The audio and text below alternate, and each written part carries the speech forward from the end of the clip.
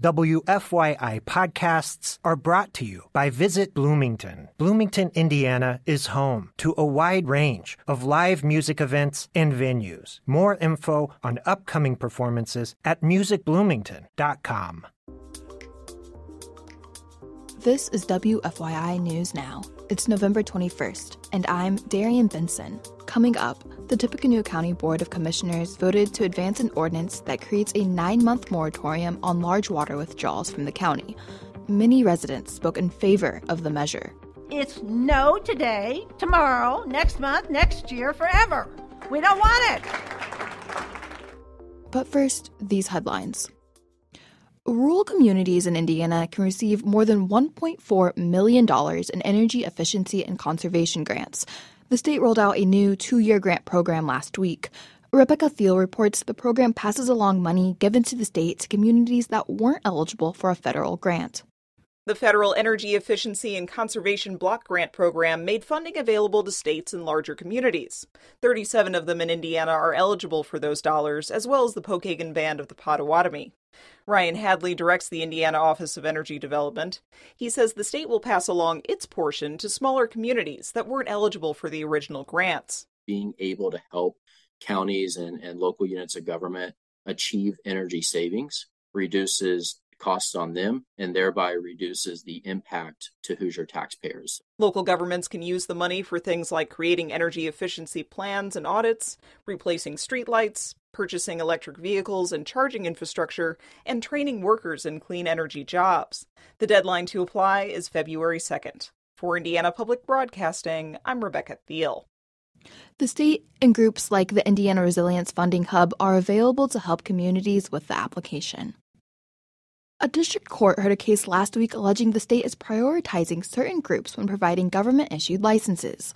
The law, which went into effect in July, made Ukrainians on humanitarian parole eligible for Indiana driver's licenses and identification cards.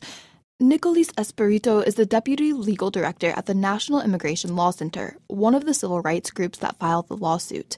He says this law is discriminatory toward other groups on humanitarian parole. This is a matter where Ukrainian individuals can get driver's licenses, but individuals from Haiti, from Venezuela, from Cuba, from Nicaragua cannot, despite having the same immigration status. Jeffson Saint Hilaire is a Haitian immigrant living in Indiana. He says he believes those on humanitarian parole from all groups should be eligible to receive a driver's license as it's necessary for daily life. It's been very frustrating because imagine that you have to go to work each day and you have to rely on ride with coworkers, with families, and people they have their own schedule. And no one likes to wait for someone. You want to be independent, to be able to move around by yourself. The defendants argued the law was not intended to discriminate against other groups and that the state simply took a federal statute and placed it into state law. There is not a clear timeline on when the judge will make a decision.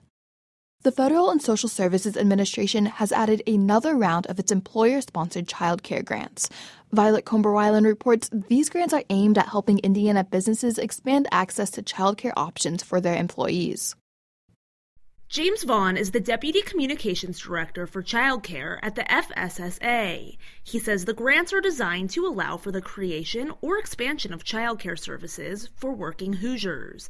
Vaughn says the next round of grants was added on to give employers more time to invest in these options. A lot of businesses and organizations are still trying to figure out what they want this to look like, what exactly they want to apply for, what exactly they want partnerships to look like. And so we wanted to give them some additional time. He says 25% of the funding for these employer sponsored childcare grants will be reserved for applicants in the second round. The deadline for the first round of these applications is Wednesday. For Indiana Public Broadcasting, I'm Violet Comber-Wilen. And finally, the Tippecanoe County Board of Commissioners voted Monday to advance an ordinance that creates a nine month moratorium on large water withdrawals from the county. Ben Thorpe reports the move comes as the state is studying the feasibility of a pipeline that would move water from Tippecanoe County to an industrial district in Lebanon. For over an hour, Tippecanoe County residents spoke in favor of the measure. Many said they were afraid that they would run out of water if the withdrawals were ultimately approved. Cheryl Kirkpatrick is a West Lafayette resident.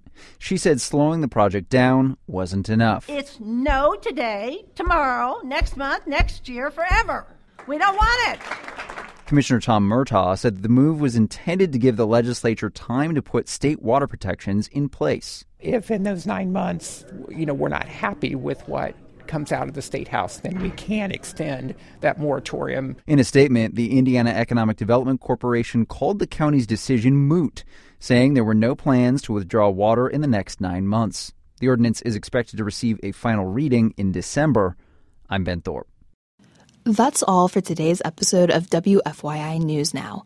Our podcast is produced by the following people who live in your community Abriana Herron, Kendall Antron, who composed the music for this podcast, and me, Darian Benson. Our news director is Sarah Neal Estes. If you liked today's episode, remember to subscribe and share. And find us wherever you get your podcasts to hear more stories about your community. We'll be back tomorrow with more local news.